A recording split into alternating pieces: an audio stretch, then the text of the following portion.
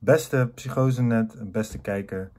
Mijn naam is Tim Knoten en ben onder andere beschikbaar op het online spreekuur van Psychosenet. En werkzaam als ervaringsdeskundige in het UMC Utrecht. En uh, al sinds een aantal jaar bezig om een ander geluid te laten horen omtrent psychose, omtrent elke vorm van crisis. Dat er wellicht een transformatieve kracht in schuilt de afgelopen tijd uh, veel met mijn verhaal naar buiten getreden.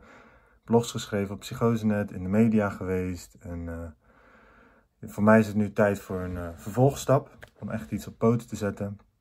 Ik heb zelf drie doorbraken, drie psychoses. Of ja, eigenlijk waren het spirituele crisis meegemaakt de afgelopen zeven jaar.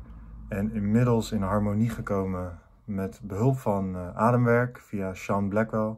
Misschien kennen jullie die wel. Uh, mede-oprichter van Crazywise, de conferentie. Crazywise is een beweging die de alternatieve kant in de psychiatrie en de reguliere kant met elkaar wilt verbinden. dus inmiddels uh, sta ik uh, drie jaar bijna zonder medicatie. Bijna drie jaar. En werk ik dus in het UMC Utrecht als ervaringsdeskundige twee dagen. En ben ik bezig om dat ademwerk op poten te zetten. En om mensen dus toegankelijk te laten maken. En zodat iedereen, ja, iedereen die daarvoor open staat, de potentie van ademwerk kan ervaren. En, en dat is breder dan alleen mensen die psychose hebben doorgemaakt, of wat voor crisis dan ook. Het is vooral gericht op mensen die persoonlijke groei na willen streven. En in welke vorm en hoedanigheid dat gaat komen, dat weet ik zelf ook nog niet. Wat ik wel weet is dat mijn waanzin van zeven jaar geleden, toen ik twintig was, voor het hele verhaal kan je, kan je nog eens opzoeken, maar ik had een bepaalde overtuiging en die is nu een realiteit aan het worden. Dus ik was, ik had een bepaalde, zoals mijn gedrag werd bestempeld, grootheidswaanzin. Uh, een bepaalde, ja, manische episode.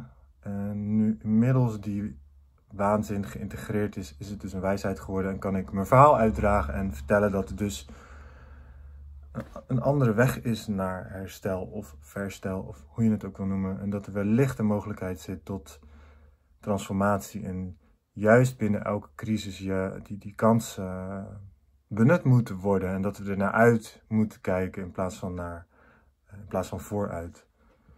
En uh, in het UMC Utrecht werk ik onder andere met Jim van Os. Althans, hij is hoogleraar psychiater en ik zit wat meer in de loopgraven en tussen verschillende klinieken en een beetje die, die ervaringsdeskundigheid vorm te geven. Wat aan zich wel een, een uitdaging is. Maar goed, wij, uh, Jim en ik, uh, hebben allebei een, eh, een, andere visie als het gaat over herstel. En een beetje radicaal soms, maar wel een geluid wat overlapping met elkaar heeft. Dus en ik dacht, ja, hoe verbind je nou die laag? Want hij zit meer in de hogere laag en ik zit ook overal nergens. Dus ik dacht, omdat het toch past bij deze tijd, laten wij nou eens beginnen met een podcastreeks. Waarom niet? Dus ik ben bezig met een podcast, die heet Tim en Jim. De diepte in. En dit is, eh, deze video is ook een uitnodiging voor en een, uh, ja, wat, wat te wachten staat voor, voor de komende tijd. de podcastreeks is een manier om dus die hogere laag uh, waar hij in zit en de laag waar ik in zit, uh, meer met elkaar te verbinden. Wat is er nou nodig om een ander geluid door te laten sijpelen op de werkvloer, naar de verpleging, naar uh, eigenlijk iedereen die met mensen in contact komt. En, want we horen allemaal wel van alles en er moet van alles, maar hoe en hoe bereik je mensen? Dus ja, de uitdaging van deze tijd, denk ik zo. Of de, de uitdaging van elke tijd.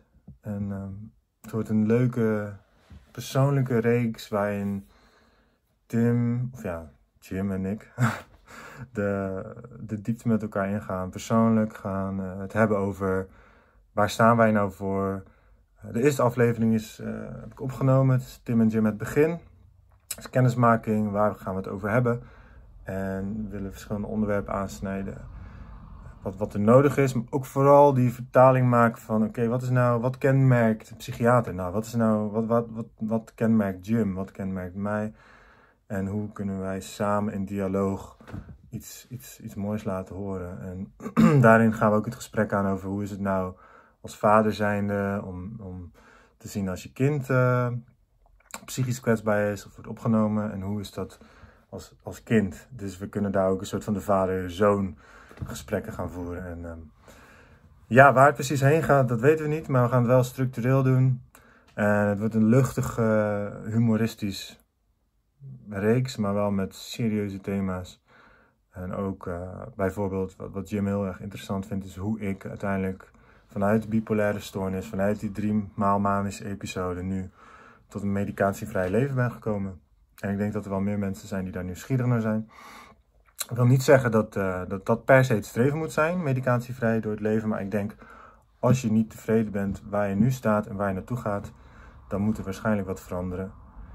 Ja, en laat ik nou net weten hoe je je opgekropte dingen uit kan uiten. En het enige wat je daarvoor nodig hebt is uh, ervoor openstaan, nieuwsgierig naar zijn en durven alle angsten of whatever aan negatieve emoties er zijn, uh, te, te, durven te omarmen, durven toe te laten. Maar goed, dus de podcastreeks. Tim en Jim het begin, Tim en Jim heeft het nog zin, Tim en Jim adem in. Eigenlijk allemaal dat soort woordspelingen gaan, uh, gaan het, worden de titels. Dus ik ben benieuwd hoe het gaat zijn. Jullie horen het, jullie gaan het zien.